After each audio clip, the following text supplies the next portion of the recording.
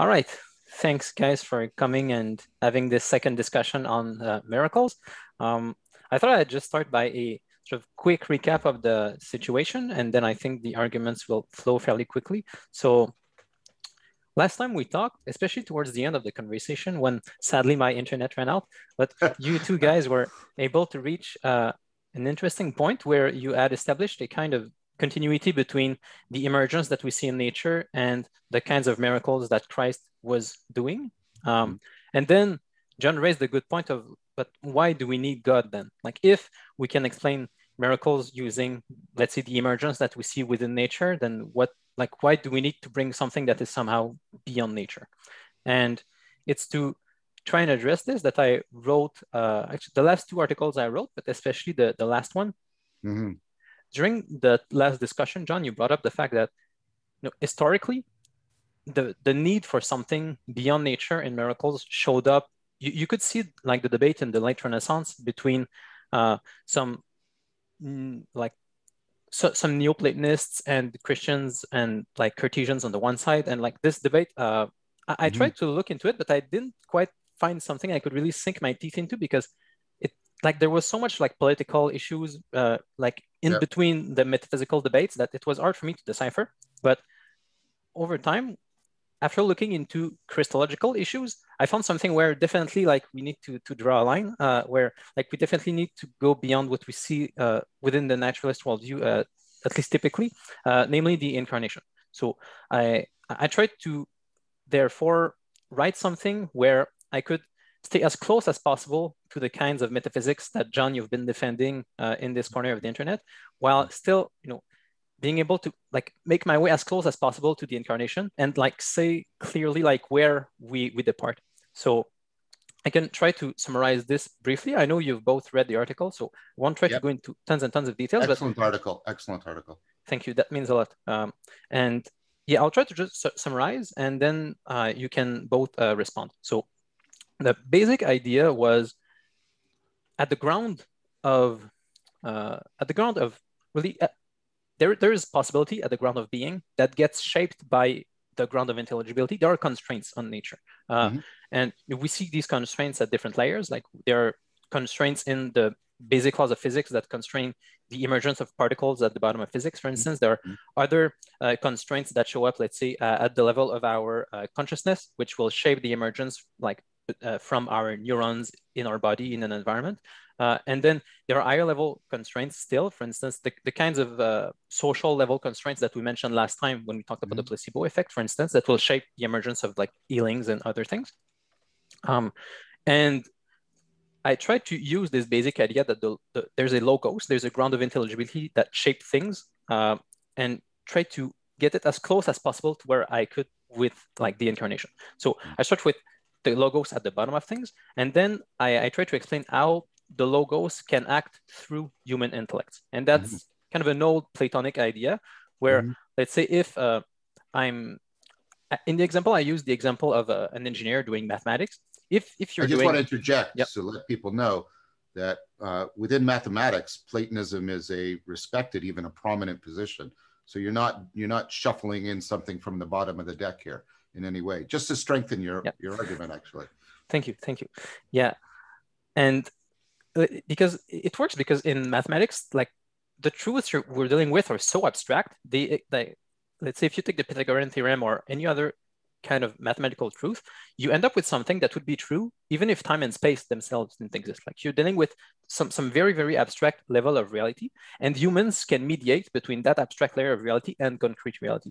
If I'm an engineer and I, I do mathematics and I use the, this abs very abstract relationship to create something, then this very abstract mathematical relationship will end up shaping the world through me. So you can see this as the, the logos, the ground of intelligibility, acting through human intellects to shape reality. It's, it's a, the, the old biblical idea of uh, Adam mediating between heaven and earth.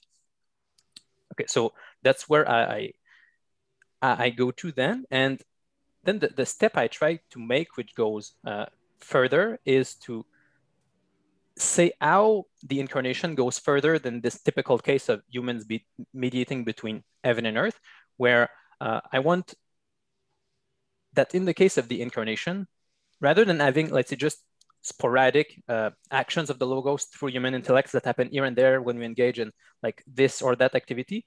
That in the case of uh, the human nature of Christ, you see a hypostatic union, to use the precise term, you see a union in one person where the logos is constantly acting through like irreducibly the human nature of these. And then you get this picture where throughout all of the development of nature, and I use Bergson there uh, and his idea of how it is that you can see in evolution the apparition of more and more free kinds of life, uh, like life forms that are able to be shaped, let's say, more and more abstractly by the logos. So they have more like, possibilities open to them. Yes, yes, yes, yes.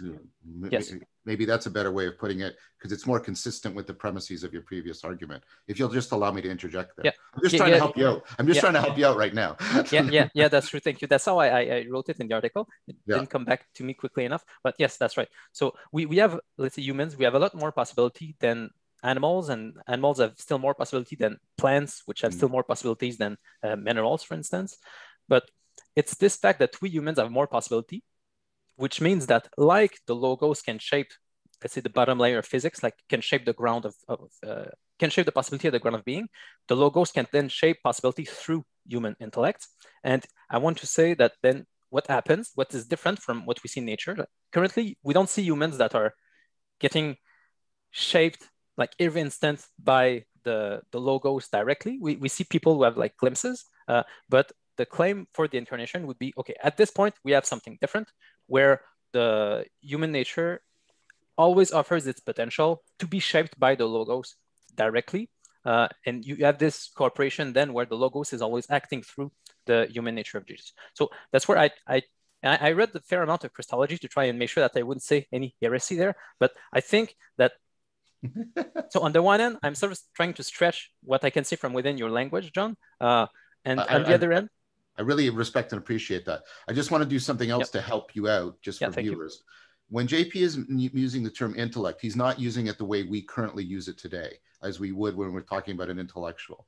He's using it in more of the ancient Neoplatonic Greek sense, which is our capacity to grasp, you know, abstract and profound patterns. Um, and so it's not the same. Uh, uh, it's it overlaps, but it, we shouldn't hear just that sense of intellect that we use in the world today. So, for example, and JP mentions this in his uh, in his article, an artist who renders some beautiful music or some great work of art is also demonstrating nous, is also demonstrating intellect in that sense. And so the Platonic sense of intellect is much broader than our current sense. And so I want to emphasize that because what JP is saying here isn't sort of, uh, I don't want it to be thought of it as just sort of a purely conceptual thing that's happening. Some of his examples, like the mathematician, and he and I, in JP, I believe, does that for good reason because, as I said, uh, Platonism within math is a well-respected position within mathematics. But if we if we go back to the original meaning, it's much more, it is much more comprehensive of our humanity than our current word intellect would indicate. And I think that's also needed to just again to strengthen the, the argument you're making, JP. So I just wanted to put that in there. Yes, thank you. And then what I'm ultimately trying to, to do with this is sort of a, a top-down move where I'm trying to do metaphysics and to see how I can bring in the logos through human intellect. And then on the other end, I would sort of try to plug this in with what we discussed last time, especially as I said earlier, the point where you two guys got to, when I uh, when I lost my internet connection, where you we want to say that on the one end, the the miracles, like the events that happen within Christ's lives, are, uh, are within Christ's life, sorry, are events which are higher levels of emergence from what we see in nature. They're kind of weird events that explain the the other the multiplicity of weird events that we see within nature. So I sort of try to get this bottom up move from like emergence up until like the nature the human nature of Christ, but I also try to get the top down move from the logos through that human nature of Christ. So hopefully I get to like say, okay, this is the point where I have to break from the kind of naturalism that mm. I think Johnny would be comfortable with. But like at least now it's clear. So um, that, that's my basic idea. And you and you and you tried to argue. I mean, you acknowledged that, and again, thank you for that. That was that was charitable on you on your part. Um, and, and, I want to say, uh, it, it, for anybody who reads the articles, I put a comment in uh, when JP says John would agree with this, John would agree. He's right. He's he's getting it correct, and so he's not misrepresenting me in any way. Um, uh, but then you said, you know, the argument sort of stops here, but you at least want to propose something that's in continuity. And I, I really liked the metaphor. I want to explore it with you. Mm-hmm. Of you know, differences of degree become differences in kind. We talked about that last time, and then this idea of a new kind of life, right? Almost the way you know we have you know uh, intelligent life emerging out of non-intelligent life. You're proposing something at least analogous to that am I understanding you correct? Yes, yes, that's correct. Yes. Okay, and I, I that that topic, and and again, um, I see, and the, the move you made at the end there, just to strengthen. I mean, you you argued last time that at the core of C.S. Lewis's argument, right, is that the incarnation is the is the is the greatest miracle that makes the other miracles possible, and therefore, I think zeroing in on the incarnation here was actually you know a completely legitimate move. Um, um, so right now, I just want to make sure that you know you you that you that I, I'm fully appreciating your argument and seeing it in in the strongest possible fashion. Yeah, thank you. I don't know if you guys want to respond right away. I know you also mentioned Nishitani in your uh, in your comment, John, and I, I ended up reading the book after your comment because it had really piqued my, my interest. And Which what uh, religion and nothingness? Yes, yes, exactly. Yeah. Uh, so well, uh, I, I, I do have some things to say on the basis yep. of that. Yep. Um, I, I, but I, I mean, I kind of want to hear Paul's initial reactions yep. first, right? Um, just like you allowed me the chance to say how I was receiving it. I'd like to hear how Paul is receiving it uh, before I respond, because I want I want this to be as inclusive as possible. I, I, don't mind just watching too, but I I I loved the paper. I thought it was um, a couple moments. You know, my Protestant formation got tweaked a little bit, but I I think you know I think the you know I really loved the previous conversation we had, and I thought it took some surprising and delightful turns. Um, you know, I'm sorry. Um, I'm sorry, JP, that you lost your internet connection, but the the end of the conversation was was quite interesting. Lewis, you know, when when you you know when I when I look at how you mapped it out, I really love the way you mapped it out, and I'm I think it's exactly right that you focused on the incarnation, because Lewis in Miracles very much sees so nature is our sister, God is not within the system of nature. God, of course, is the is the source and the author of nature, and humanity is is a sibling to nature, but also, you know, we are the stuff of earth and the breath of God. So humanity is is sort of this this weird amphibian creature that is that is not fully natural, and we we continue to bear witness to this position whenever we use words like um, you know human, you know, man-made climate change as if that is unnatural. I mean, and that's a persistent relic of our language that we have. And it's it's interesting then the how the logos comes in in terms of a mission in order to because the idea is that humanity humanity rebelled and so lost its its comfortable relationship with its sister nature and lost its communion with its source for at least half of its being. So, in, in that way, for Lewis, human beings are also sort of a you know a union between nature and God in his book Miracles.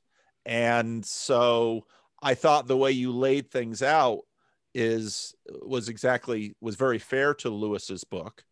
And I think it and I think it anticipates then what what we talk about in terms of miracles here that there is somehow with um, somehow with the how to phrase this with the power of the author nature is capable of things that the sister alone doesn't is incapable of. And I thought you you really illustrated that beautifully in terms of math and the engineer that you know what what we find with human engineers is this capacity you know human engineers pull from nature a capacity to do things that we don't find naturally occurring.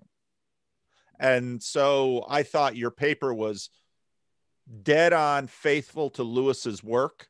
And I thought it, I found it very comfortable in terms of my own framing of the world, given the uh, influence that Lewis has had on me.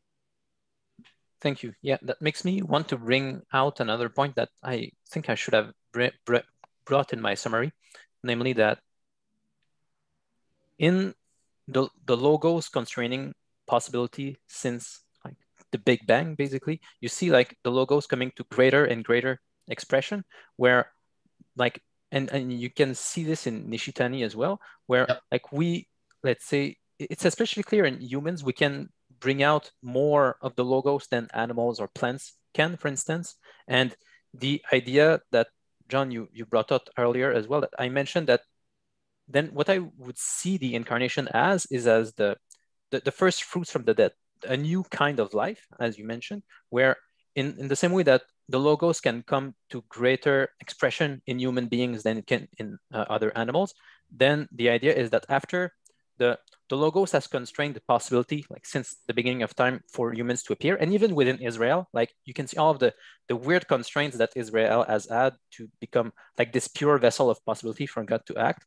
You get like this, this constant, this constant act of the logos at the grandest scale until the logos can then have a vessel of possibility to act like at the scale of just one person to bring in a new kind of life, which would then happen. So I'm trying to bring in like both aspects of what the John you mentioned earlier and what Paul you just brought up, like this uh, this author writing himself into the story, like the, of the logos coming to greater expression until you get to Christ, where you have a new kind of expression of the logos, which like the claim is that this will spread. Um, so yeah, thank you. So, I mean, uh, thank you for reading the Nishitani. Um, I, I, think that's one of the top five uh, most profound books I've read in my life. Um, I've read it twice and I plan to read it again.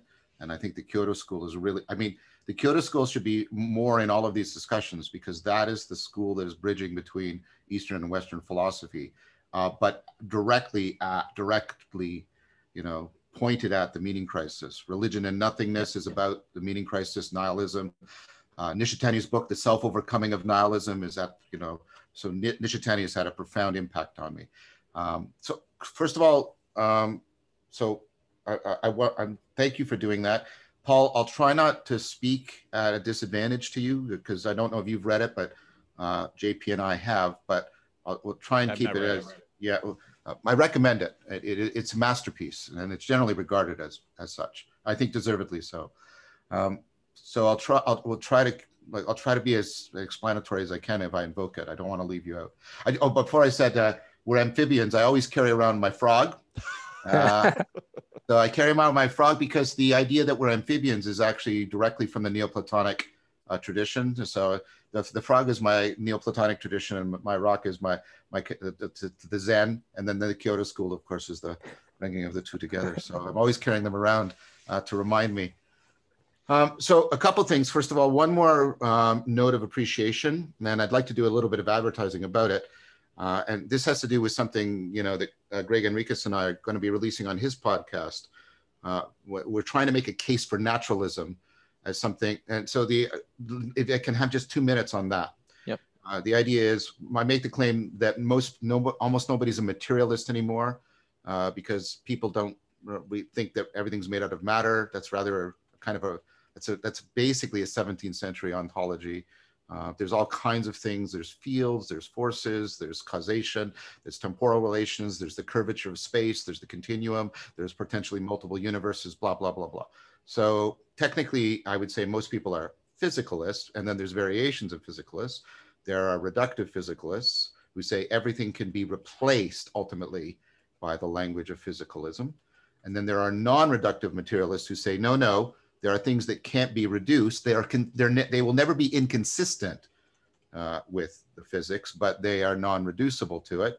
Um, and this has to do with a lot of the stuff we've been talking about: real emergence, uh, the fact that the level at which people are doing science has to really exist, or the science doesn't really exist, and then the science can't tell us that everything is reducible to the bottom layer, uh, right? You, you've heard me make these arguments, so that I'm a non-reductive material, uh, non-reductive physicalist, not any kind of materialist or uh, reductive physicalist. This is a position, by the way, that's not, I'm not some weird, freaky fringe person um, in the scientific community. I, I, think I'm fairly mainstream. And, and so, um, and I, I, I get it that you guys want to still, I'm trying to say thank you. So just hang on, that you still want to criticize the sufficiency claims of naturalism.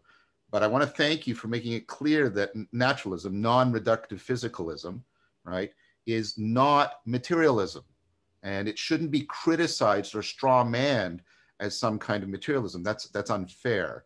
That's unfair. And and so I wanted to. I mean, JP, you were you were you were meticulously careful about that, and I wanted to acknowledge and thank, thank you. you for that. I think, that, and even your even your.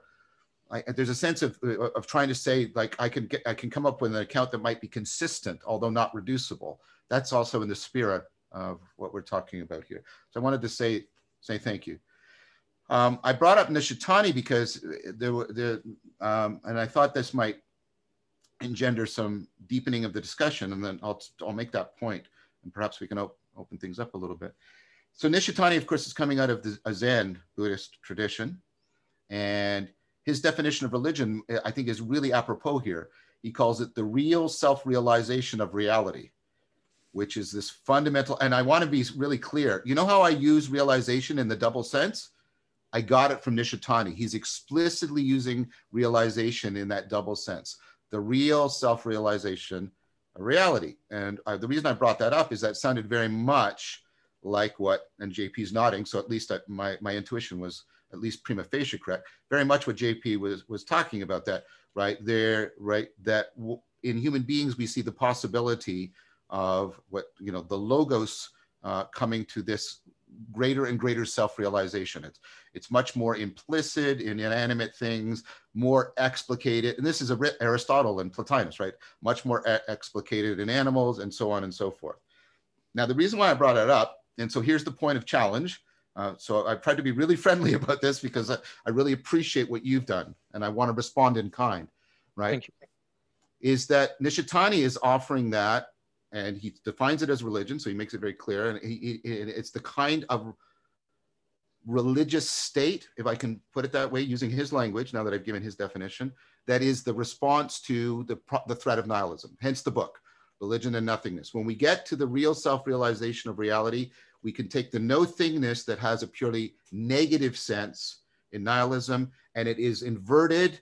It is aspect changed to be the most profound positive thing that we can experience. It becomes the field and right. So, and you guys are familiar with this from your own Christian tradition. The no thingness of God is different from the no thingness of evil, right? And what Nishitani is claiming it right I'm, i was invoking augustine there right uh, what what what what what nishitani is claiming is this state it, right of enlightenment is precisely the thing that brings about that shift in people's realization and he argues that that is the fundamental response to nihilism is, is that is that fair Yep. To your reading, JP and, and, Paul, does that sort of at least make a prima facie sense to you? Mm-hmm. Mm-hmm.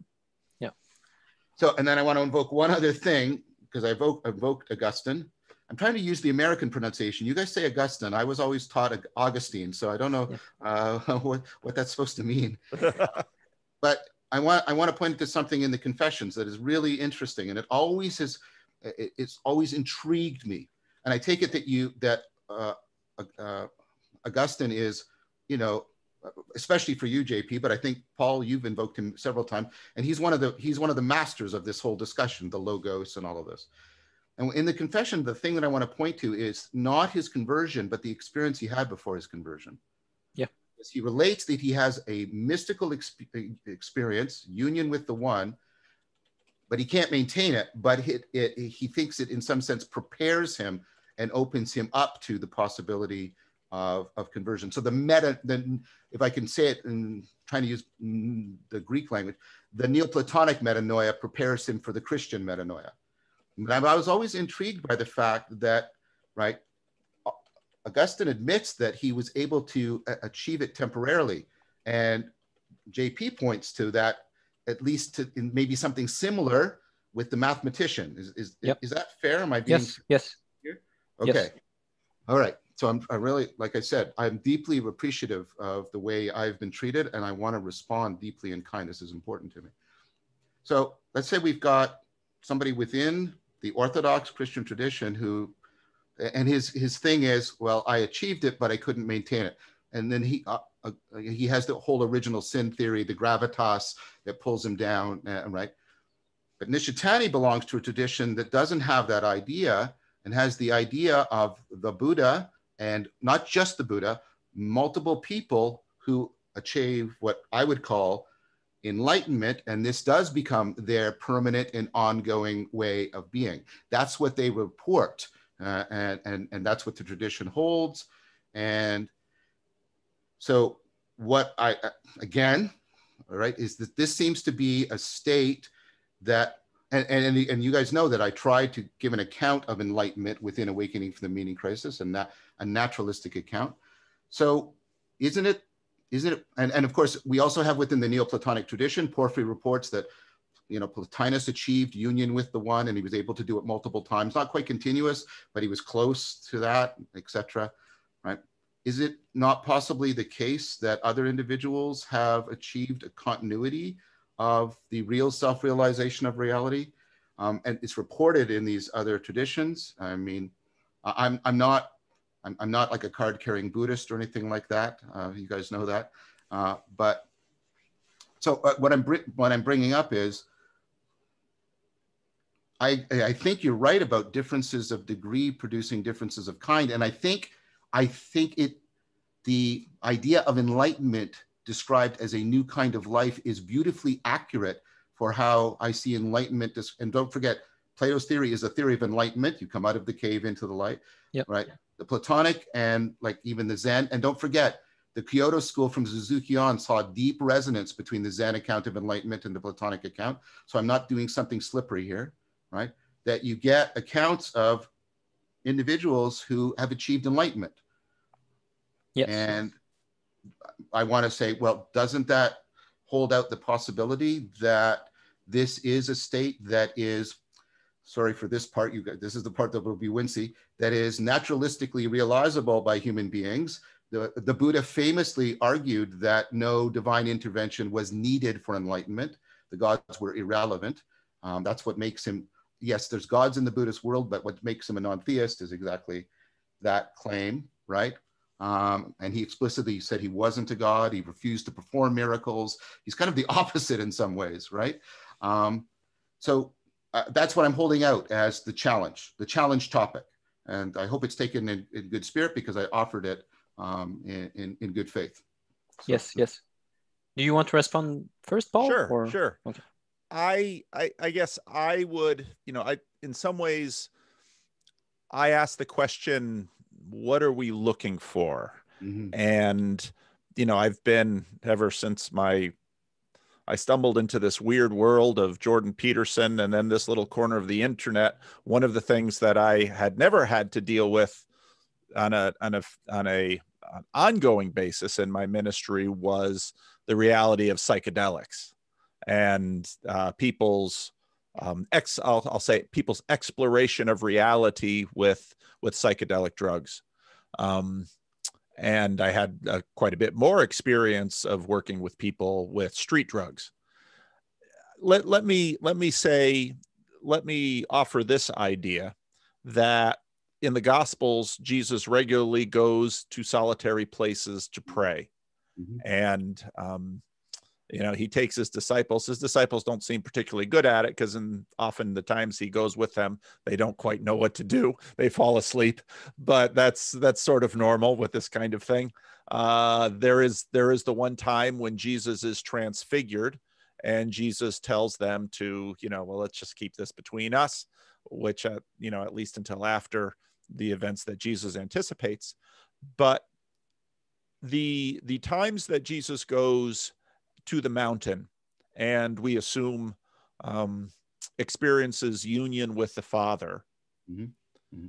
are for Jesus in continuation with miracles such as uh, turning water to wine, multiplying loaves and fishes, raising the dead.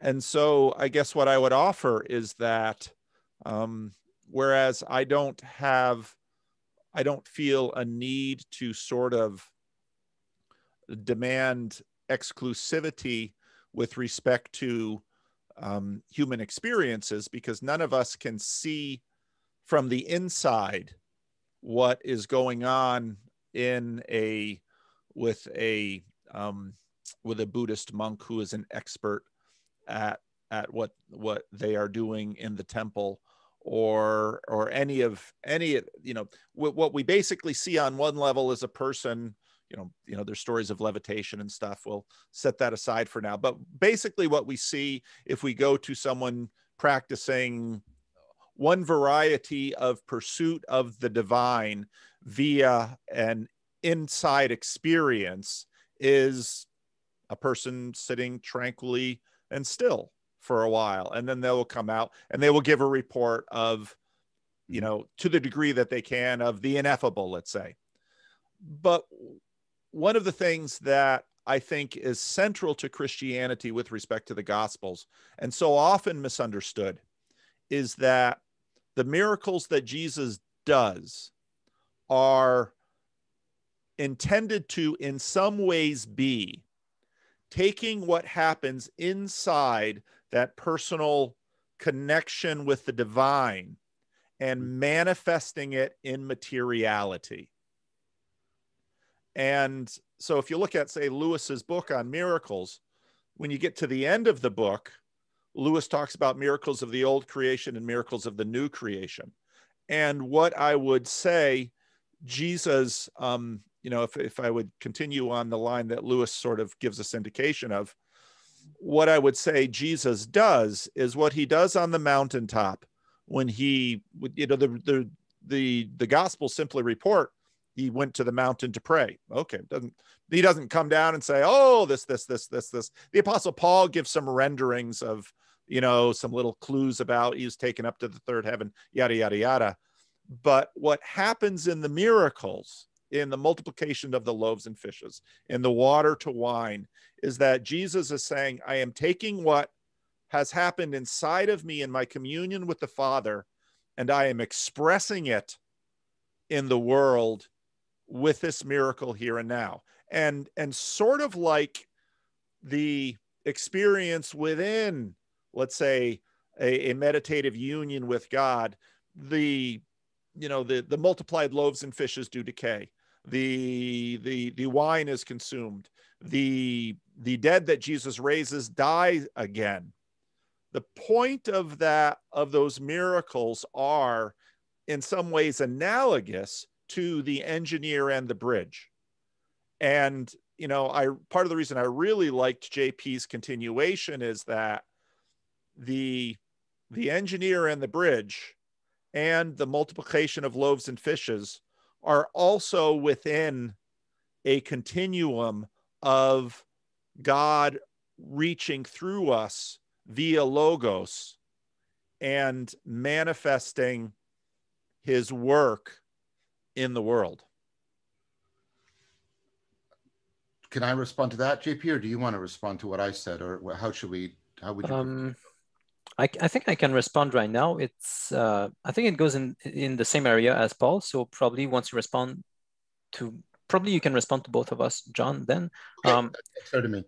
I I think there's there, there's like differences in how we conceive of the logos or dharma and how we also conceive of the experience of thank you for doing that by the way dharma and logos are very close translations of each other thank you i think in some translations of the bible in india that's the word they, they, they yeah. used for logos exactly and so i think there's like in the same way that we we we will differ john i think in how we conceive of the logos and how we take responsibility. We will also differ in how a human, a human experiences union with the logos.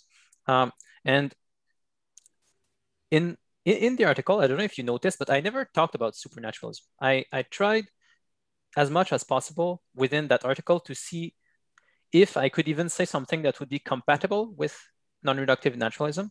Uh, I didn't like just come out and say that, okay, well, John is a secret supernaturalist, and like within his ontology, I can Sort not. So that was that, that was uh, that was uh, that was uh, very, very accurate and kind of you at the same time.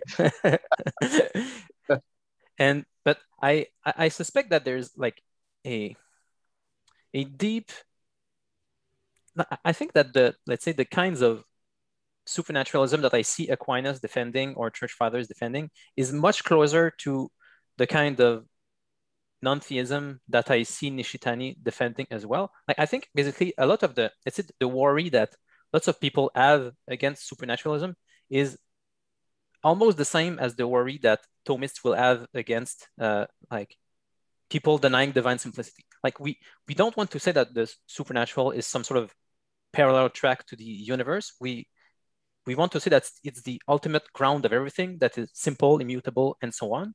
And Mhm. the way that the logos will incarnate in Christ, for instance, isn't because like some event happened in the in, in the ground of being, like that logos changed or whatever. We want to say, at least in the classical tradition, that it's the relationship between some entity in the world and the logos that appeared, and the logos itself didn't change. So anyway, I, I do think that there will.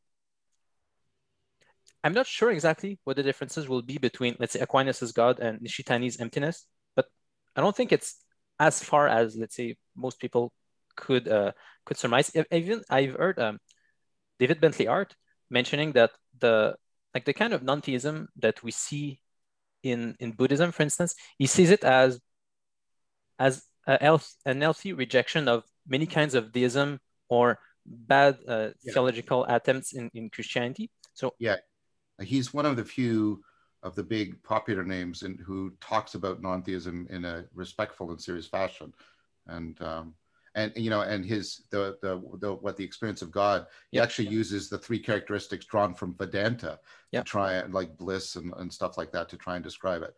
Um, so he he is somebody from the West who's I think uh, sincerely reaching out to the East. If I can, I don't like that language, but we don't have other language right now. Yeah. Um, so yeah, I think that's right. So uh, that's exactly why I recommended Nishitani because I think there is, a- and, you know, and like I said, you see from DT Suzuki on and Nishitani, you see people, you see the the people in the Kyoto school recognizing resonance with Neoplatonism, Mhm. and I, I agree with uh, John Caputo.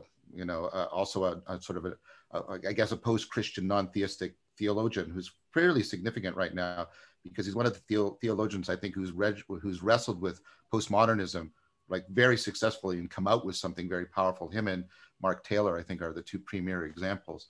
Uh, so just to get advertised for their important work, because Caputo says that uh, basically the attraction, you know, the Kyoto school is attracted to Heidegger because of the mystical element in Heidegger's thought, which is from Eckhart. And of course, we know that Eckhart is coming out of the Neoplatonic tradition within Christianity. So they keep recognizing each other Yeah. and calling to each other across very significant divides. And I want to point out that, that Yeah. that's something really important we should pay attention to. Yeah. Yeah, yeah. So maybe we can we can that can be fertile ground. Uh, uh, uh, Can, can I? There yeah. was a second step to my response that oh, I'm ties so- in. sorry. I'm Oh, sorry. Oh, sorry. it- it's good. It's good. I just don't want to lose track because I was trying to tie it in with what Paul said as well. Oh, um, please. because in the same way that we, so we will have some disagreements about the logos uh, itself. I'm not sure exactly how those will play out in practice, but I think those map down also to how we see the logos incarnate. Uh, and there was a, a place uh, in um, in Nishitani's book, Religion and Nothing. I even remember it's on page 201. He mentions that uh, I mean, I, I read it like over the last week, so it's it's fresh. Uh, he, he mentions that okay, so the role of people who achieve enlightenment is to like induce enlightenment in others as well. And but the fact is, we live in a history where most people are not in a state of enlightenment. Uh, and he mentioned that there hasn't been much thought uh, within Buddhism about like how how let's say history like how you can see the unfoldment of logos in history and how enlightenment is supposed to Yep. spread in history That's right. That's right. and he even mentions that it, it he would have expected it to come up uh, in uh, Mahayana Bud- Buddhism, where there's like this great idea that comes close to Christianity, where people take a vow when they like let's they- Yes. Yeah, the yeah. Bodhisattva. Yeah. the Bodhisattva they, they, they, they take up a vow that they will not uh, enter into nirvana until they have brought all beings uh, into nirvana themselves. So like they just keep reincarnating and until they can bring everyone to to uh, to nirvana, to enlightenment, and that's that. At this point, you start getting close to the idea that within Christianity, the way that we conceive of the logos, even though the logos remains immutable, doesn't change, even though emptiness remains the same, we want to say that there's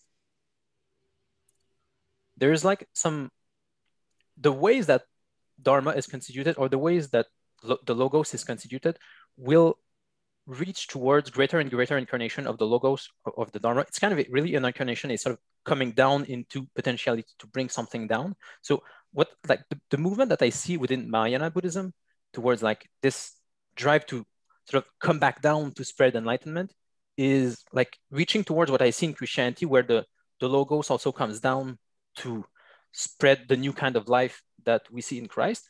Uh, but so, so I, I, see those kinds of two things where, in the same way that Paul was talking about the experience of Jesus on the mountain coming down to bring something down, to bring par- mm-hmm. patterns into like incarnation. Uh, I would, I would argue, but it's all. I don't have like clear cut arguments. It's it's part of why I like to have this conversation. Like I, I see that there's like something different about the way that the logos incarnates within Christianity that I don't see like exactly in how the logos incarnates in Buddhism. Sure, but that's a symmetrical argument, of course. Yes, yes, that's true. That's true. Right. So it's like yep. difference is a symmetrical property. Um, so uh, the, I, am glad you see though that there's at least sort of approximations or, or relevant similarities, uh, because one of the things that you get in the Nishitani book, and I think, and I think this th- this needs to be said about Eriugena too, is like, and I've I've kept trying to emphasize this, it, it, to replace the hierarchical model, right, with the complete interpenetration of emergence and emanation. There's no emanation without emergence. There's no emergence without emanation. They're completely interpenetrating, and, and that, and, and, to use your language, if if it's not trespassing, the complete and utter identity between God's transcendence and his immanence. Mm-hmm. That um, uh, if you keep them as radically opposite and not fundamentally ontologically identical, you're actually dividing God in a way that trespasses on the unity of God, I think. I, that was Eriugena's argument, at least, as far as I could see it. Um, and so it seems to me that if that's the case, what we're talking about isn't whew, I want to be really careful here. Is, isn't like an ontological case of uh, of something incarnating, but more, as you said, at a level. There's levels of realization, and a particular level is available. And this is why I like the new life. There's a particular level. Yep. And any being at that level will have that kind of life, have that kind of realization. And, it, and so that's kind of what I'm arguing for. Now, I want to respond to, to Paul and, and that I, I think that's like the, the point about the so one of the things that's always intrigued me and i'm glad we're in a good faith discussion because i can talk to you guys about this without right um, right is is the the opposite attitudes towards miracles in the two traditions uh, because, there, there's indications that the buddha was capable of some miracles but he steadfastly refused to perform miracles in fact he said this is how you will know somebody's not one of my disciples if they offer to perform a miracle. Um, and and the, and, the, and and I don't know if you got if, if I've ever related the the, the how how the, the Buddha with the the woman who lost her child. No. Okay, because I, I want to tell this story because it's a way in which the Enlightenment comes into materiality in a, a, really palpable way. So if you give me a moment, uh, you know, and, and, you guys got tons of parables, so yeah, right. So a woman comes to the Buddha and she says, you know, her son has died and she wants him to raise him from the dead. Now, nobody thinks this is an, a, a, ridiculous request, by the way. Okay. So she says, Will you raise him from the dead? Will you raise him from? And he, no, no, no, go away, go away, go away. And she keeps coming. And then he, he, right, uh, very much like Jesus with the woman at the well, right? He, okay, let's, he says, I'll raise your son from the dead, but you have to do one thing for me. Um, and she says, What? She said, and by the way, it's a mustard seed again, which is really kind of weird. She says, You have to go into town and you have to get a mustard seed from somebody's house. And she says, Oh, oh, sure, great.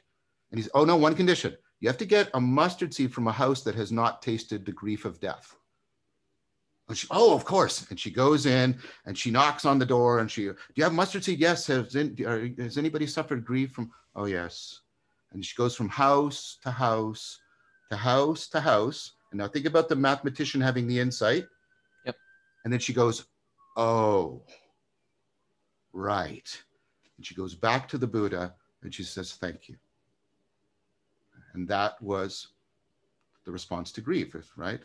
um, and she gets a kind of insight. Now, to me, Paul, that sounds like a very powerful, um, you know, materialization, if, if we'll, if, we'll, use that word, right, of enlightenment into the, you know, the healing of a woman who is experiencing one of the most profound, you know, uh, you know, negative experiences that human being, and he's transforming it into what grief can do for human beings, which is make them human in a way. Like one of the wisest persons in my life uh, said to me, don't get deeply involved with somebody who hasn't tasted grief because they haven't reached the depths of their humanity.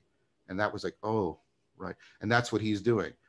So like I see, I'm offering, I, I'm saying that's not the same thing as a miracle, but it's like, it seems to be to be a materialization that is uh, of considerable value. So that was offering as a response. I, when I think about, you know, there's obviously uh, the wisdom. The wisdom of that story is profound. Yes. Yeah. And, um, but but when I when I ask myself, I, I know, you know, I know very little. Um, I should read Nishitani's book because I, I really am not conversant at all in um, in Eastern. I mean, I've been I've spent my whole life you know where I am and doing what I am.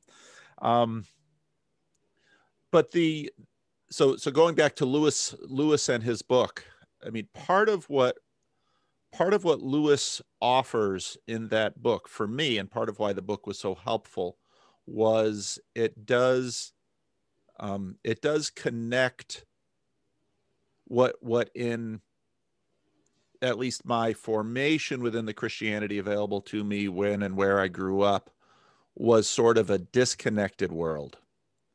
And the the, the stories of Jesus are these um, are, are these very sometimes strange it, it's certainly not a fairy tale well i shouldn't no. say that either but it's it's certainly not mere wish fulfillment no, no, I get what you meant. Yeah. Yeah. Um, and, but yet it is, it is the, it is the, I, I guess maybe, I don't know, maybe I'm not doing anything more than reiter, reiterate, reiterate, reiterating my point that in some ways, the experience, the experience of union that we can that we can have to whatever degree we do. And I think those degrees scale too.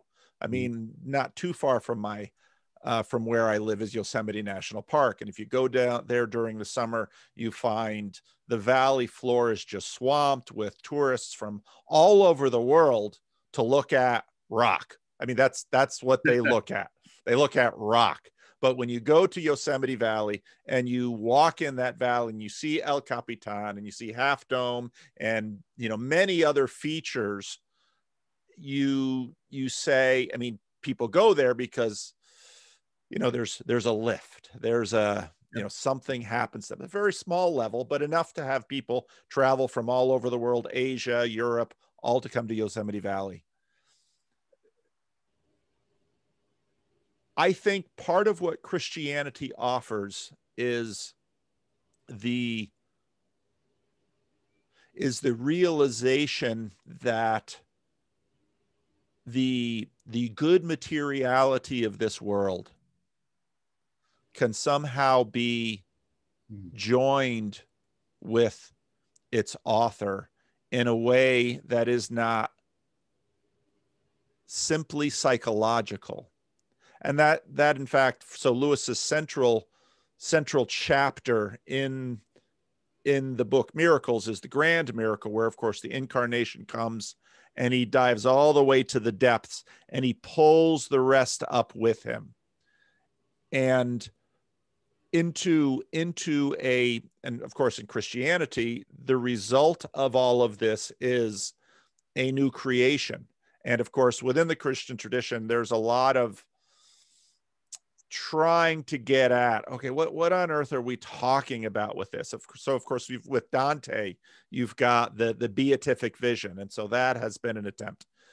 But in you know in the ends at the end of the book of revelation for example there's this there's this new creation. And this of course is also seen in the book of isaiah where maybe for now the um the devoted, disciplined, practiced holy man can can discover wisdom and beauty and and in a sense the the an escape from death and a and a taste of eternity which is you know as augustine difficult to maintain difficult to maintain for very long.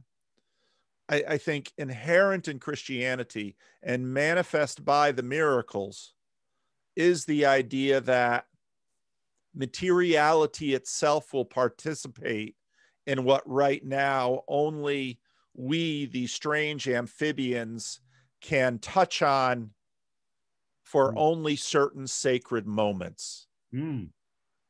And I, I, think that is, in fact, the gospel.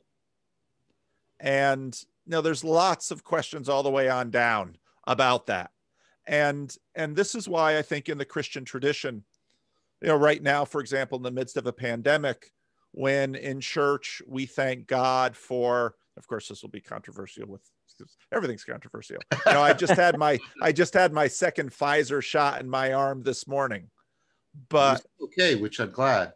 Yeah. So the so the you know the the the scientists you know that that entire civiliz- civilization machinery that has led to an mRNA vaccine in my arm to combat this virus this is all the spirit the work of the spirit of God and this is this is a part of the this grand movement that God has undertaken exemplified in the incarnation which is moving us towards um, final union, which which now maybe we only experience at the at the limits of our capacity, but by virtue of a vaccine, by sanitation, by irrigation, by you know all of the stuff that is happening in technology, that is happening in culture, that is happening in art, all of this is moving us towards final um, some final reunion with and and with what we were made for. And so and and i think the the critique of miracles that i hear in your story i don't find alien at all in christianity because jesus was very critical of the crowds who were looking for him for easy solutions, easy yep. answers, a display and a show. And he would often say, you know, you ask the, you know, a perverse generation asks for a sign. I'll give you the sign of Jonah. And then he says, Jonah spent three days in the belly of the fish. And everybody probably listened to him and thought, are we going to take a trip to the sea? Um, and of course, he was speaking about resurrection. But I think the entire flow of this in Christianity is is not you know, is not I, I, think it's intelligible and understandable. And I think part of the reason oh, there's a lot of ways that we went wrong, but I'll leave it right there. I hope that is intelligible because I I actually don't think many people understand that this is what Christianity is really about. But I think it is. That's that's how I understand what I understand Christianity to be about. Paul, can I just ask a, a, an understanding question? It's not a challenge. Sure. So what I'm hearing you say, and I, again, not a challenge, I just I want to make sure I'm understanding you, that what Christianity is saying is something like all of nature could be brought to this higher level of realization.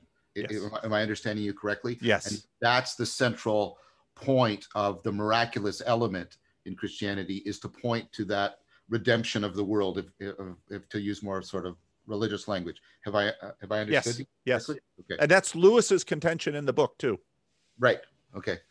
Uh, I'll let JP uh, respond. I just want to make sure I understood you correctly. Yeah. Yeah, and I think we see that in the Eriugena too, right? Uh, of how all of nature is meant to, like all of yeah, nature usually uses nature in a term that's like different from what we're using right now. But let's say all of material reality is supposed to also come back to the creator through humans ultimately.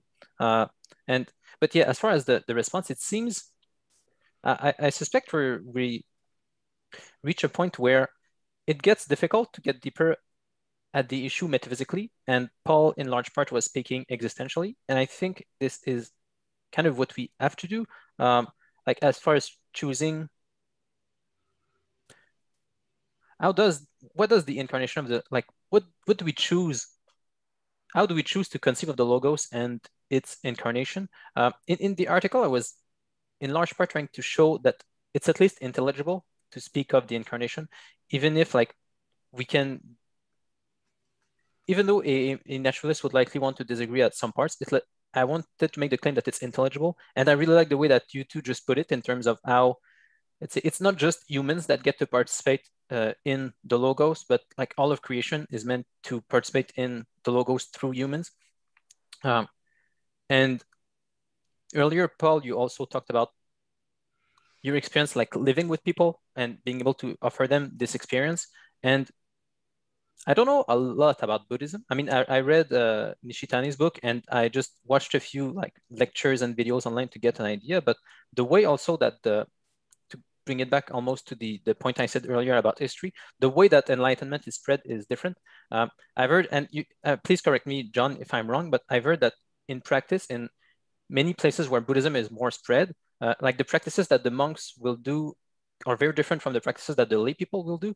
Uh, in, I mean, with let's say, but, but that's the same in Christianity too. To be yeah, fair. yeah, yeah, that's true. But I mean, right. like the, I think that's instance, more of a sociological fact than something that goes to the heart of the religions. Um, uh, so yeah, yeah, yeah. I think that's true. You you can see the the, the parallel phenomenon where there is kind of an idea that the monks will reach enlightenment through meditation and practice and so on, and the lay people are doing other kinds of practices that will prepare them in a future life where they will be monks and then they will achieve enlightenment. Uh, does that sound fair, or uh, like am I getting um, a wrong sample? Yeah, a little bit. The Mahayana, you know, is there's there's many you know and and there's many strands of buddhism like there are many strands of christianity yeah. um, um, so uh, um, I, I, guess what i would say is um, well let, let me do another story from the buddha because yep. i, I want to try and and then I, I, let me let me try and be clear about uh, this what's being claimed and then i, I want to try and respond to um, paul's point because i think paul made an excellent point and I think, JP, I think the, the, the point you made, and I think you're trying to get back to is um, there's a commitment, just like Paul said, there's a commitment to the materiality mm-hmm. of the world. I think your point is in Christianity, there's a commitment to history um, that's important. Yes, it, I think so. Yeah. Yeah. The, okay. The, the logos will manifest through yeah, history. Yeah. yeah. And I'm trying to, and and that what you're saying is in, in Christianity, these are brought together in a powerful way. Um, so first of all, I want to emphasize the the that uh, uh, we talked about the amphibious, right? The Neoplatonic tradition. I carry the frog around, and that's because the frog has a diff is a different kind of organism, a different kind of life. And so the Neoplatonists thought they could achieve a, a, a new kind of life, not just a momentary thing. Um, and the same thing with the Buddha. And and this is the story of how he got his title. So he achieve, he sits under the Bodhi tree. He achieves enlightenment. He's walking down the street and he's met by people. And I, I think this I put this in the series, but I'll just remind you of it and and they're just sort of like impressed by his countenance. It's shining, right? Um, phenomenon, right? And uh, and they say to him, "Are you a god?" And he says, "No." And they say, "Well, are you a heavenly messenger?" No. Are you a prophet? No. And then they're frustrated and they say, "Are you just a man?" And and he goes, "No."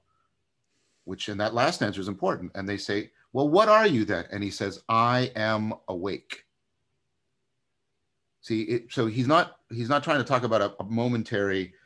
He's talking about right an ontological change. Um, so I wanted to say Buddhism isn't making a psychological claim; it's making an ontological claim.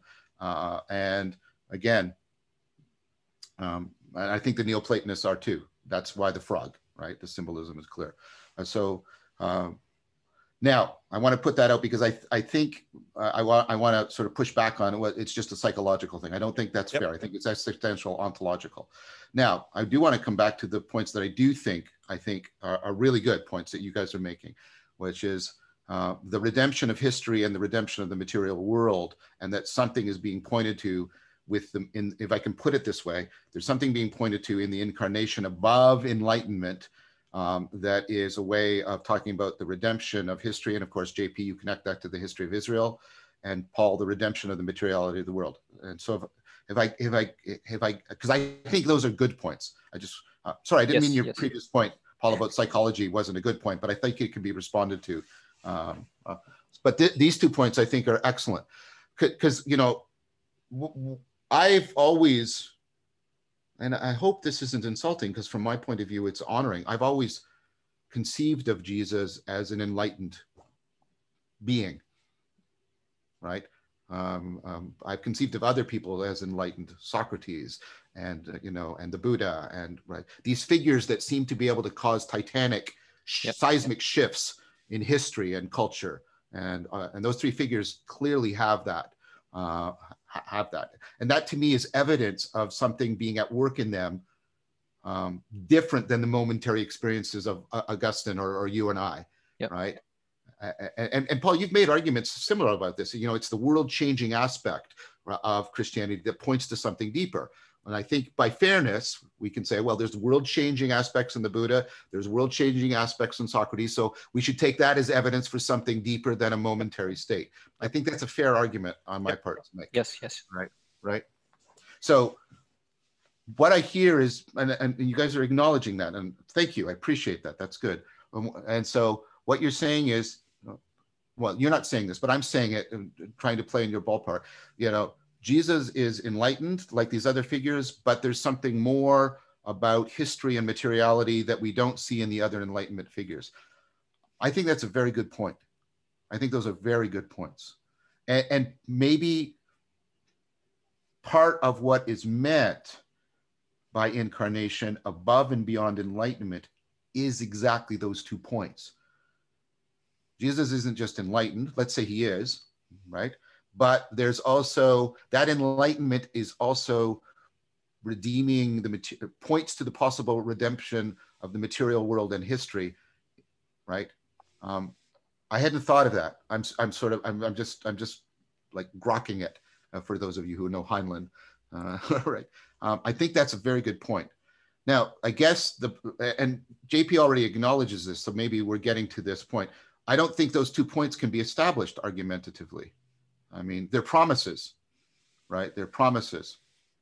And yeah. so, um, what you you now what you can say, perhaps, I I, I, don't, I, I hesitate to put words in your mouth, but you can say something like, maybe we can get to this, you know, enlightenment, and we can get, and that gets that closes the gap between naturalism and what you guys are talking about considerably. But then there's still the gap is open because the incarnation carries within it two promises that are not promised by these other examples of enlightenment. And that can't be reached by naturalistic argument, but nevertheless, it, it it's we've closed the gap considerably. It's, it, does that feel fair to to you two? Oh yeah, oh yeah, yes, yeah. yes, oh yes. And and I think the gap, you know, fu- gaps are funny things. You look at a spark plug, for example. The yeah. gap is really important because the gap sort of allows a connection that at closing would not allow. Yep. Yep. Yep. yep.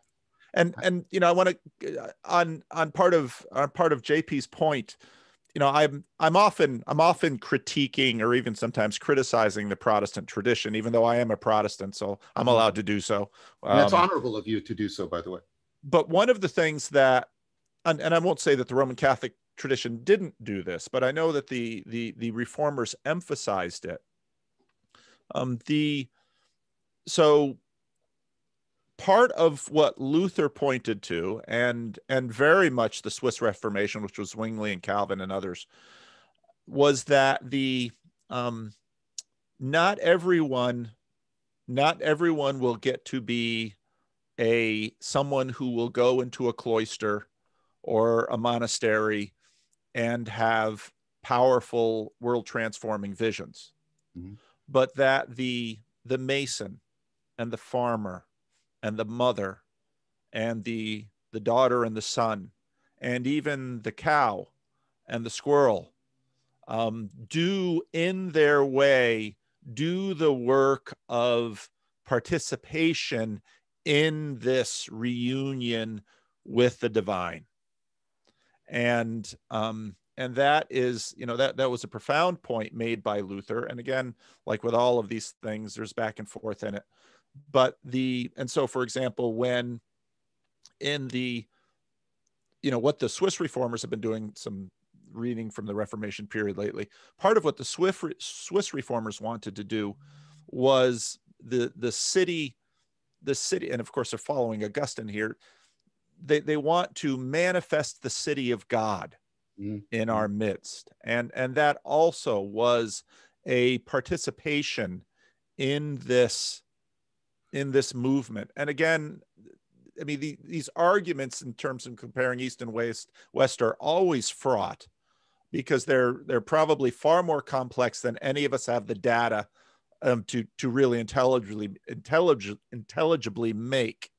But the the fact that that science arose as it did in the West, I think also speaks to this because there was a theological disposition towards manifesting you know we can we christianity talks about it a lot of different ways the kingdom of god or the will of god manifesting this in stone and wood. And of course you see some of that with the east with you know feng shui and zen and you know all of those things but manifesting it and that this was not um, technology was not anathema to this process. In fact, technology was a part of this process, in that the the development of technology was itself part of the religious quest as much as the the devoted monk mm-hmm. to their mm-hmm. prayers or meditation in the monastery and and i think that is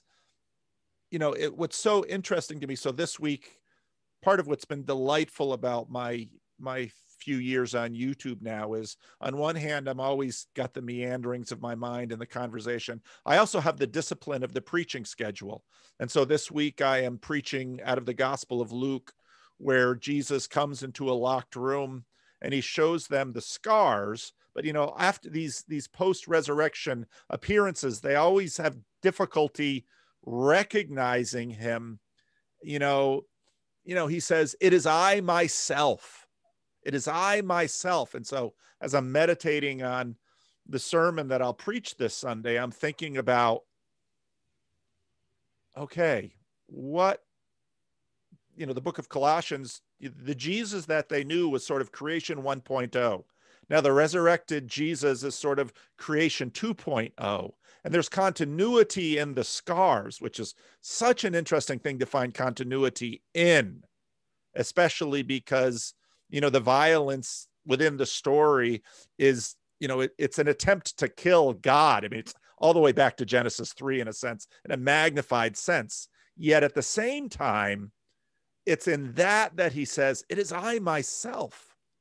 And and then of course, in the Christian story, Jesus you know, spends a few weeks popping in on people and then he ascends.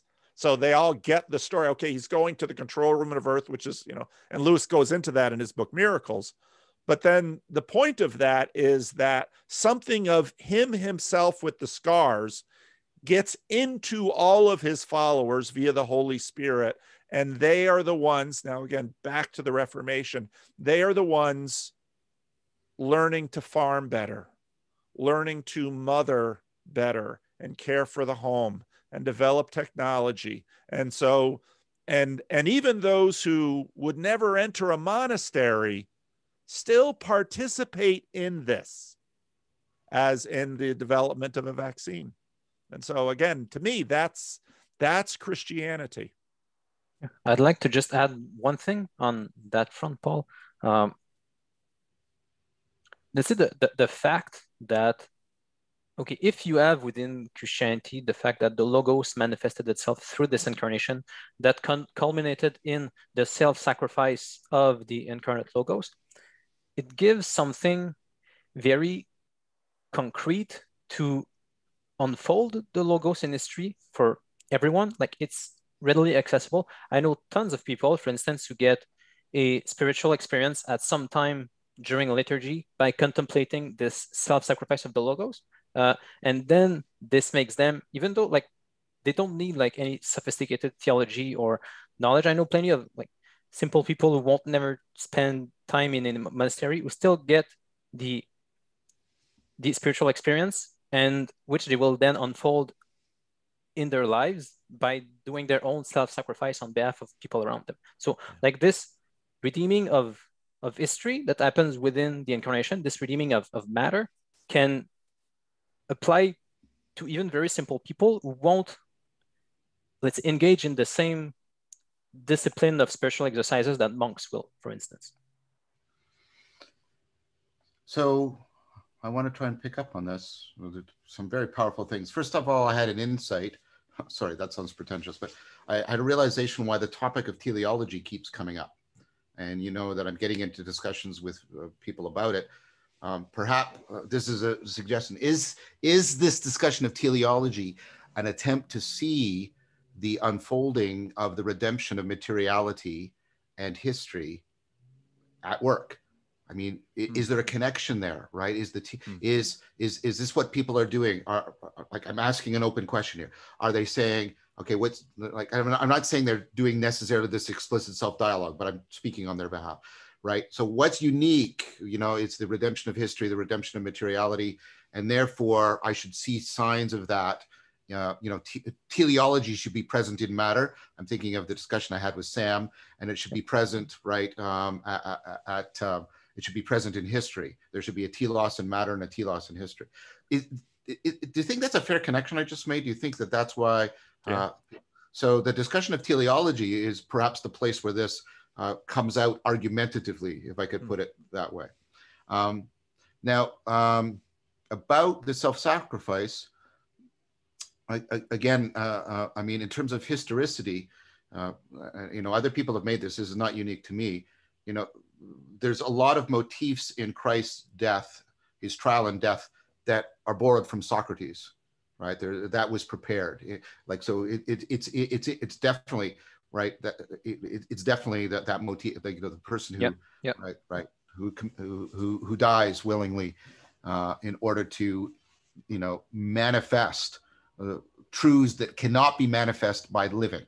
I mean, that that's that many people, you know, Socrates basically demonstrates the unexamined life is not worth living, and the only way he can actually demonstrate that in a way that would be transformative of other people is if he dies right? If people are forcing him into the choice, the unexamined life or death, he chooses death and he does it voluntarily because he could have fled and he does it in order to really make clear, right, um, the truth of that claim that the unexamined life is not worth living. Um, and I think that, again, I think that's reachable to, I mean, it, it still reaches across the centuries. It had a profound impact on me. Um, are, are you guys both here? Yeah. Yeah. Yeah. yeah. I hope so. Oh, now you froze. yeah. okay, you're back. Back, back yeah. normal. Uh, what did you hear? Uh, how how far did it get? Reaches before? reaches across the cent- centuries. Are you guys okay? good, because that's when I stopped talking. That's when I stopped talking. Was perfect. Man, yeah. oh, a, a, pregnant pause uh, there. well, and and and you're, you know, so I was listening to a, I was doing a little work in Rene Girard this morning too, and I, I would say that that motif and and the gospels i mean the, the the jesus story is amazing because on one hand it is self-sacrifice and on the other hand he's a victim. I mean though both of those things come together and and you know potentially there could be you know some of that in in socrates as well but you know this sort of gets into sort of you know jordan peterson land because you have these questions about you know in terms of the you know if there's physics if there's physics in the world with respect to gravity and you know all of this stuff is there also sort of relational physics out there that this this willing sacrifice mm. and the power it unleashes in terms of you know how we are relationally you know profoundly has echoes through the world. Um, and and and so you know again while i've in my sermons i've been a lot of people will say things to me like not a lot of people but i hear it at least anyway.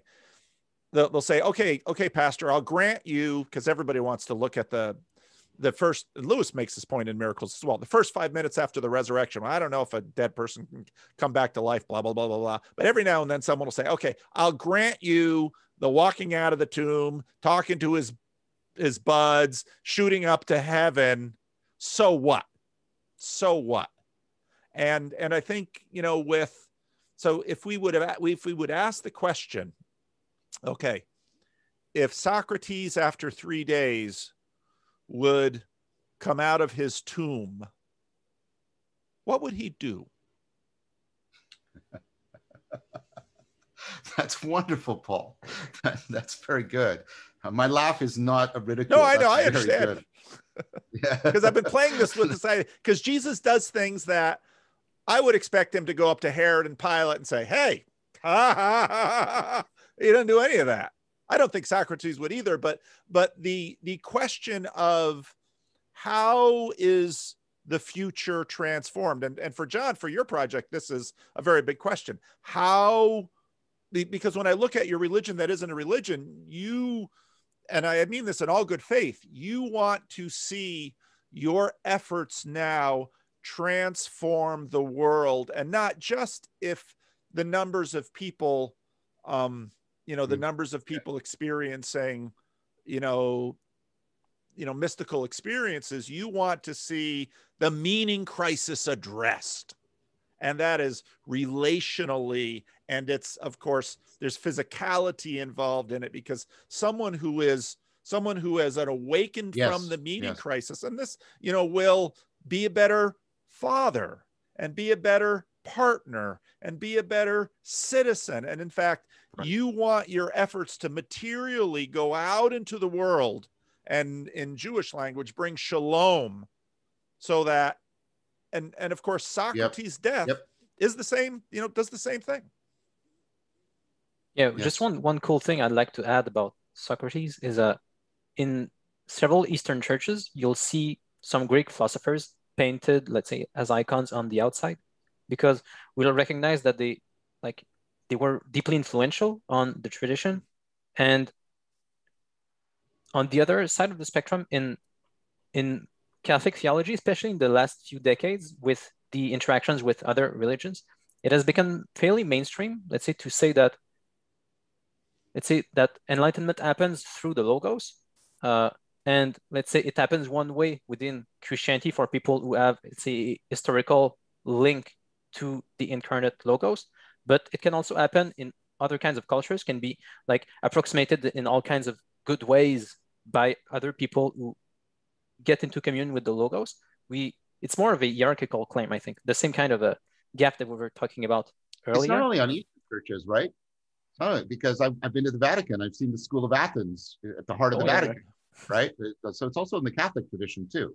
I mean, uh, I, I, think I, I think um, yeah. Um, I mean, my point about Socrates, though, did not take away from the, the like, the, the, the like the, the, point that I wanted to acknowledge on behalf of both of you, the, the redemption of the materiality, the promise of the redemption of materiality, the promise of the redemption of history.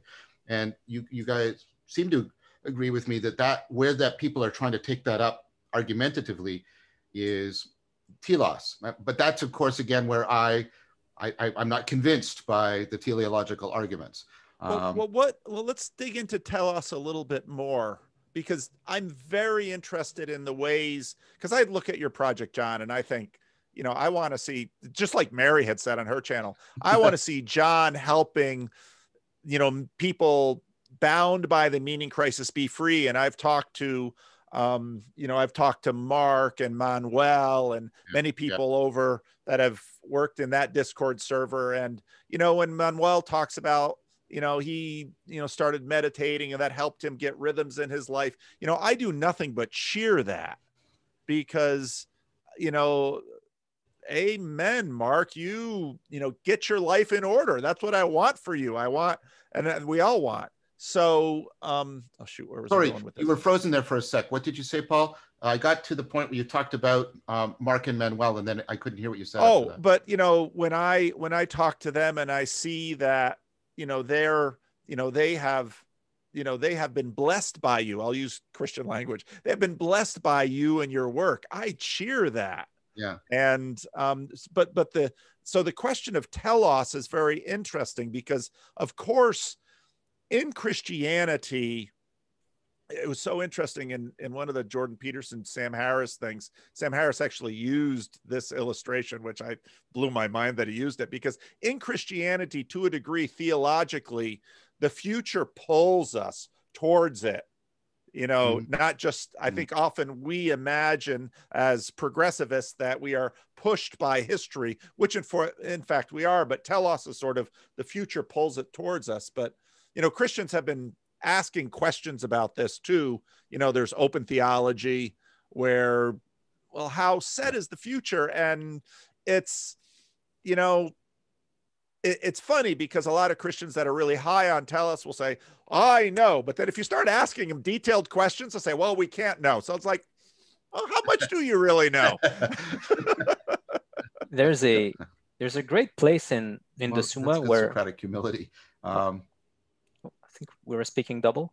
Uh, okay, I think I'll, I'll keep going. Um, yeah, there's a, a point in the Summa where Aquinas talks about God shaping the world through both necessary causes and uh, contingent causes.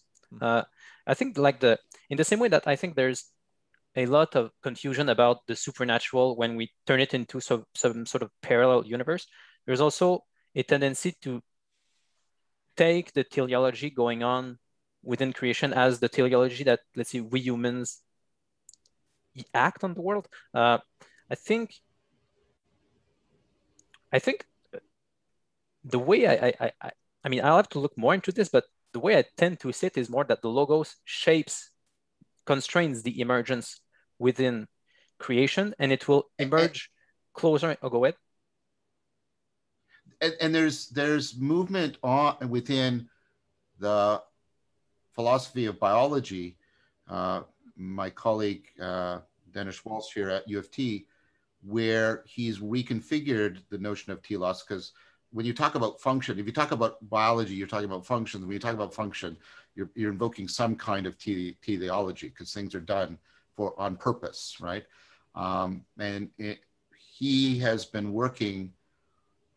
I hope you can hear me because you guys. Yeah, yeah, got we hear everything. hear you. everything. Okay, good. Uh, okay, great. Uh, so he has a, uh, yeah, he's been re, he's been restructuring, uh, reconfiguring, reformulating. That's the word I'm looking for. The notion of teleology more and more uh, around this idea of constraints, um, constraints that are conducive to an organism's survival, as opposed to causes that make it survive. Right, and this language, I think, is, is, is, is very important and very effective. And it's a very different picture from the, for, the forward pulling magnet uh, that is the typical way final causation and teleology is understood. So I, I agree with you, um, um, JP, that I think um, I think there is movement even within the scientific community, at least within the philosophy of biology, uh, to try and re-under, re-understand teleology um, as this con constraints that conduce uh, in contrast to causes that produce, uh, Yep. which I think is a sort of a slogan way of putting it. Uh, and then for me, that moves it out of the future magnet, and it's more about again uh, the complete interpenetration of emergence and emanation. Yep. Um, and so it, it- would lead to something like the complete interpenetration of teleology and causation, or or efficient and final. But we should maybe get rid of that language because I think that language has contributed uh, to to to the, the mis the misapprehension. Yeah. Um, So that's a good. That's a good move you made, Paul. I mean, you know, maybe again we can close the gap a little bit more by right uh, getting a, a, a, naturalistic account of teleology that is not so um, antithetical to uh, the soteriological account. Um, that's that's a good point. I acknowledge that. I think that's a very good point. I, I think you know in and this has been true over a very long time for me. I, I part of me asks from for and and John, you are about. I have as much trust in you as a conversation partner as I do with just about anybody, even though we've never met physically yet. just just in terms of my interactions with you, part of me always asks the question: What are we really afraid of with respect to some of these um, some of these theistic frameworks? Mm-hmm. And and i know that there are plenty i mean human beings have used this stuff to do plenty of bad but if we dismiss if we dismiss things because human beings have used things for evil we've got nothing left. Everything everything goes out the window. But I, the but I, I i think i think part of what we fear is that and i speak to this as a calvinist because my tradition has been oh, as scary on this as any. I, I, I think what we fear is is the loss of our own freedom. And I think, John, probably one of the biggest, you know, contributions that you have made for me in terms of my view of the world and my thought life is um, fr- freedom as is colloquially used doesn't work very well but your your images of reciprocal narrowing and reciprocal broadening and agency i found tremendously helpful to to sort of get a, get away from some of the limitations of freedom language and and i think we fear mm. that a a a a personal yet arenic powerful god that pulls us towards him, which is also pulling us towards our potentiality.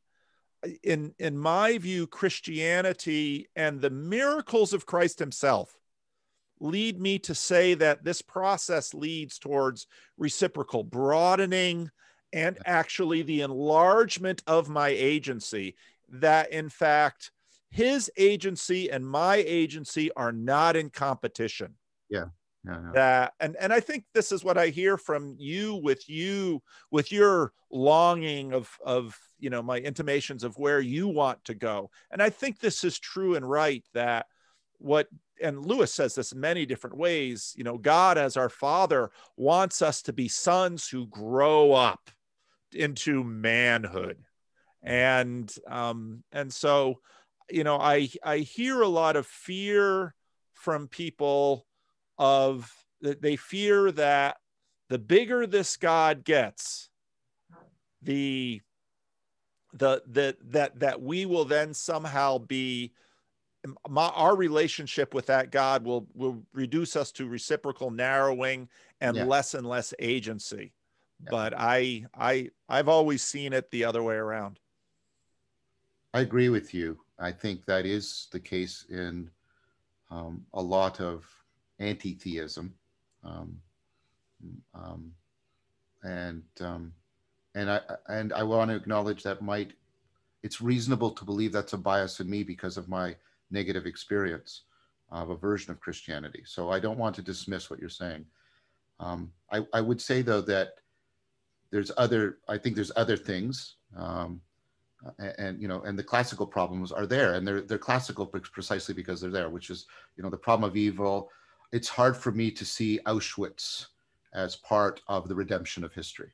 Mm-hmm. It's like if that's the only way you can redeem history, wow! Like, and I'm not saying that I have the right to judge God or anything, but if we're going to offer history as evidence, we have to consider history as evidence. We can't play yes. according to a double standard, right? Yeah. Yes. And so, um, yeah, it, it, it's Auschwitz.